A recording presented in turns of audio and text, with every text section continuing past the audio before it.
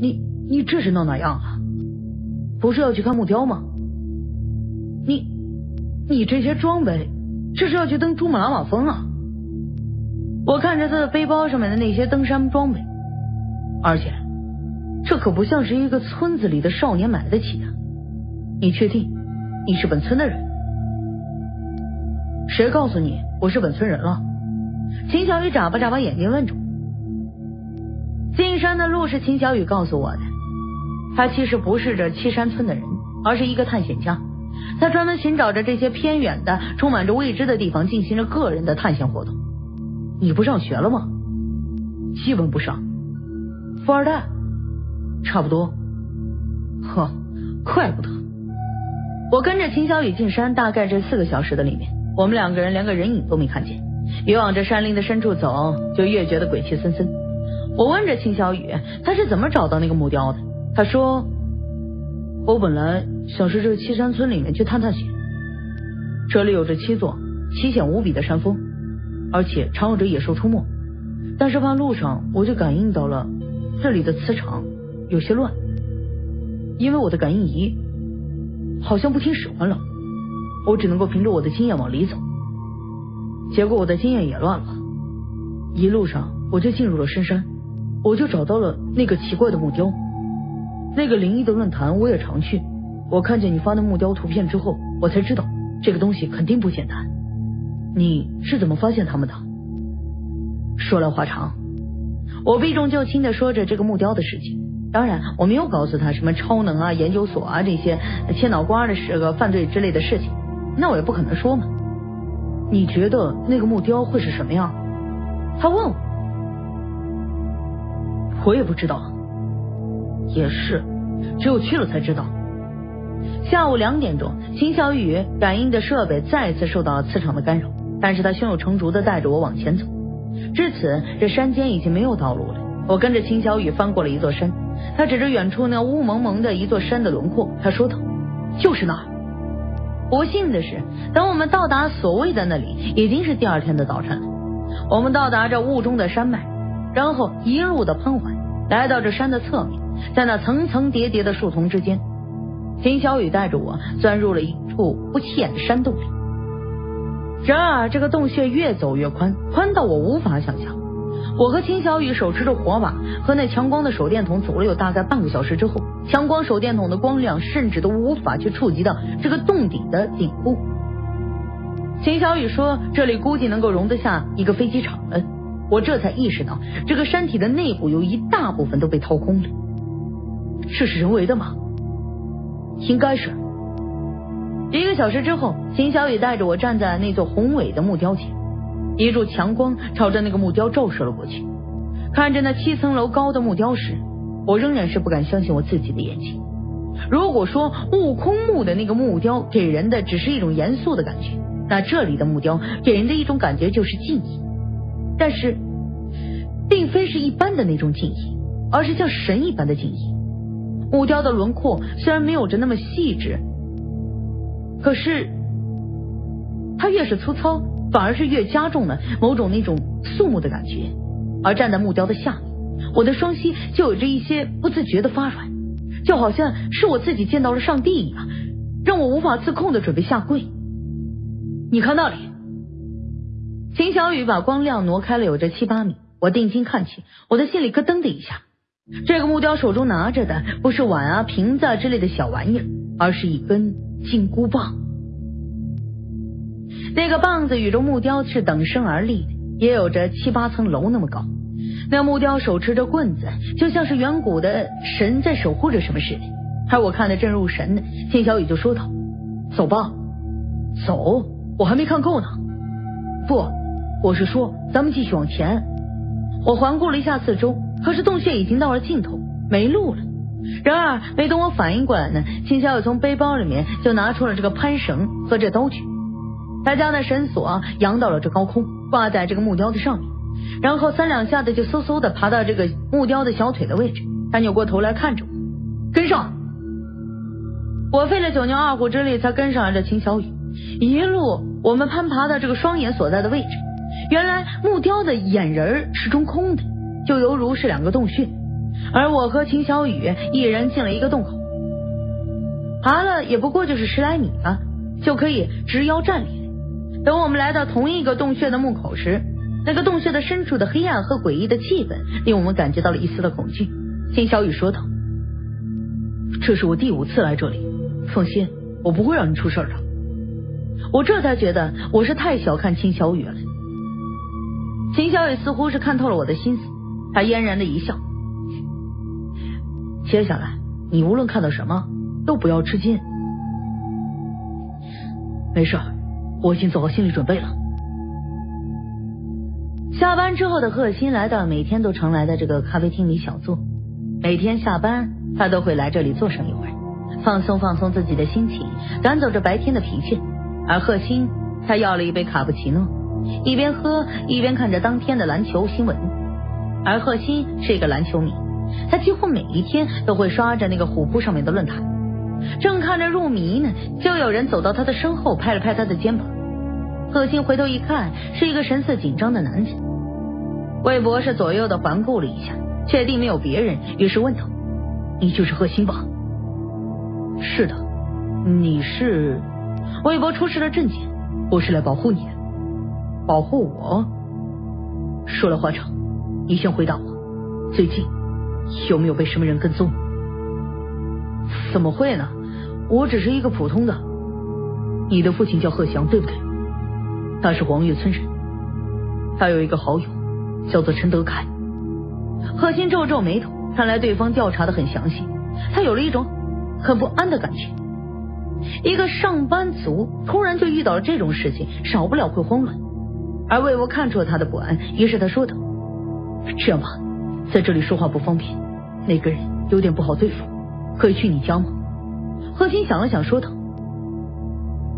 走吧。”贺鑫带着魏博来到自己所住的地方。进屋之后，问着魏博想喝点什么。魏博要了一杯果汁。两个人坐下来之后，贺鑫就问道：“为什么有人想要杀我？你父亲？我父亲？你父亲没跟你提过吗？你还是直说吧。”黄月村的豆荚。你知道吗？略有耳闻，不过村子里的人似乎都不怎么提他们。我只是听着村里的老人说，那家人挺神的，尤其是那个老人被日本人给枪毙了，却还没死。魏博喝了一口果汁，目前来看，是你父亲干了某些事情，导致着窦家的人死。当然，不是他一个，他只是其中的一个。这这怎么可能呢？贺鑫显然是不敢相信，抱歉，我知道你很难去接受，可是根据着我目前掌握的信息，事实就是如此。贺鑫有些不知所措的站了起来，在家里来回的踱步，想说什么呢，又捋不清自己的头绪。所以你是说有人要杀我，是为了报复我父亲？嗯，如果不是我走的快的话，你现在可能已经被杀了。而就在这个时候，贺鑫的电话突然响了。魏博站了起来，盯着电话。贺鑫也意识到了什么，魏博给贺鑫打了一个手势。贺鑫接通了电话。喂，啊，楠楠，是爸爸？怎么想来看爸爸呀？好，爸爸在家呢。是你的孩子？魏博问着。是的，男孩女孩？女孩。魏博顿了顿，女孩就好，女孩就好。然而贺鑫刚把这个电话放下，门铃就叮叮叮的响个不停。魏博掏出了枪来，对准了门口。贺鑫走到门口，和这魏博四目交汇，然后他问了问门外的人是谁，结果无人应声。贺鑫又问了一句是谁，话音刚落，就听到这防盗门发出了砰的一声，门被弹开了，而贺鑫整个人都被弹飞了。一个人影冲了进来，对着持枪的魏博扬手就是一枪，一颗电击弹顺着魏博的脸就擦了过去。而贺鑫捂着自己的后脑勺，抬头一看，冲进来的人不是别人，而是另一个魏博。而屋子里的魏博脸部的表情已经开始坍塌，五官开始扭曲变形。没等着冲进来的魏博开第二枪，他就扭身跑进了这个洗浴室。魏博追了上去。逃跑的男子紧紧的关上了这洗浴室的门。等着魏博打开了门的时候，看到的场景和上次一样，地上就只剩下了衣裤，而洗浴室的窗户也没有被打开过的痕迹。就是打开，那里也不可能通过一个人。那男子又一次的不见了。男子再一次的在这个封闭的空间里凭空消失了。无奈之下，魏博只好让着这个贺鑫在家里待着，然后跟着当地的警署打了一个电话。